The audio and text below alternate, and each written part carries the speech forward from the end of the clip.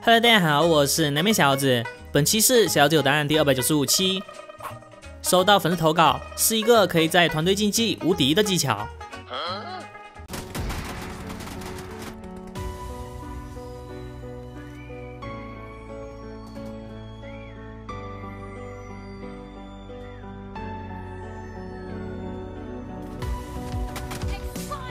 我估计已经有玩家去试过这个技巧，小子也在团竞里遇到过这类玩家，就是这种半个身体趴在围墙里的，劝他们别这样玩也不听，然后我就想用手雷去炸他们。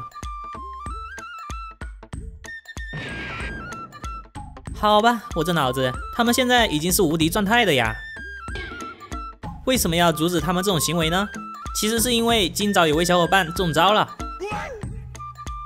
说罐子给的提示是存在过有损对局公平性行为，被纳入了隔离区。我猜很可能是因为淘汰敌人被对方举报，然后在回放中被巡查员抓到导致的。加上前两天有很多小伙伴学了无限投掷物，要是淘汰人被举报，收到这个弹窗提示也是很正常的，毕竟这个会影响游戏平衡。所以如果你的朋友在玩，切记要提醒他，不要用来淘汰敌人。因为那一两个人头数，别把自己的号给整没了。